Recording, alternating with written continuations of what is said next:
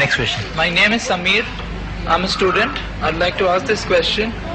You have put an uh, there is an upper limit in Islam for women for man to marry four wives. But why did the Prophet Muhammad have eleven wives?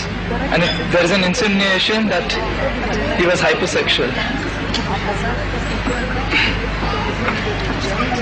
The brother asked the question that since Islam allows a maximum of four wives, how come Prophet Muhammad had 11 wives?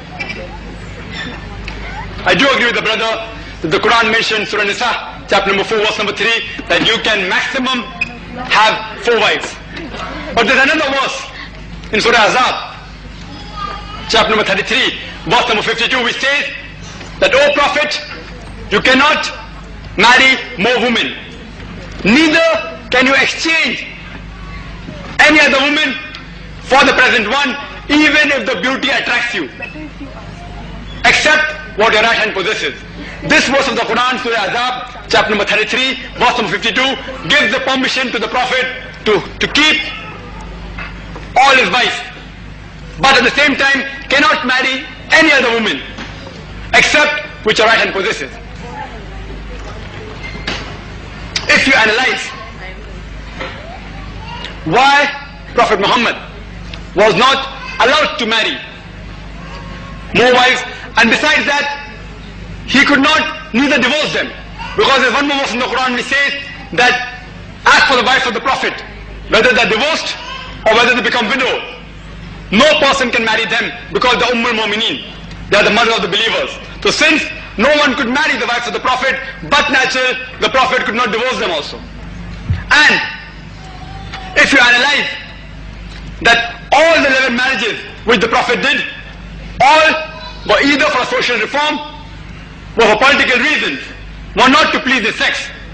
The first marriage that he did was with Bibi Khatija, may Allah be pleased with her. She was at the age of 40 when he was only 25. And she was a widow twice.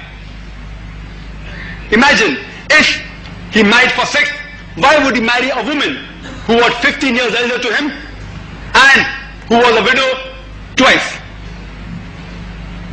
And if you analyze, till the time Bibi Khadija, may Allah be pleased with her, till the time she was alive, Prophet Muhammad did not take any other wives.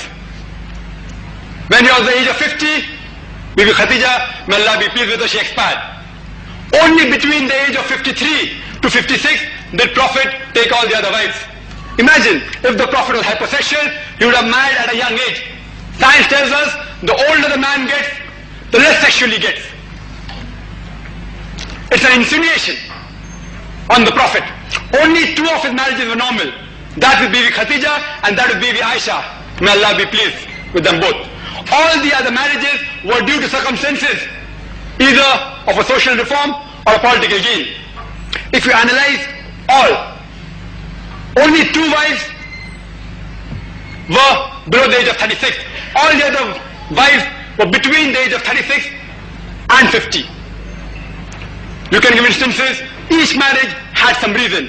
For example, Bibi Jawariya, who was from the Banu Mustalik tribe, which was a very powerful tribe, and which was at loggerheads with Islam. After a certain time, they were suppressed by the Islamic army. And later on, the Prophet married her. And after he married her, the companion said, how can we keep as captives the relatives of the Prophet? And they freed those people. And after that, both these tribes became friendly.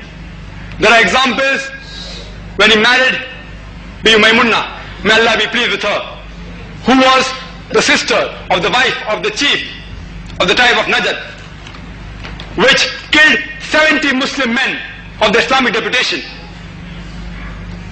After Muhammad the peace be upon him when he married her, they accepted Medina as the leadership and they accepted Prophet as the leader.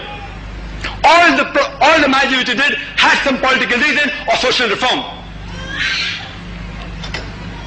He married Umm Habiba, who was the daughter of the chief of Mecca, Abu Sufyan. But naturally, this marriage played a great importance in the conquest of Mecca.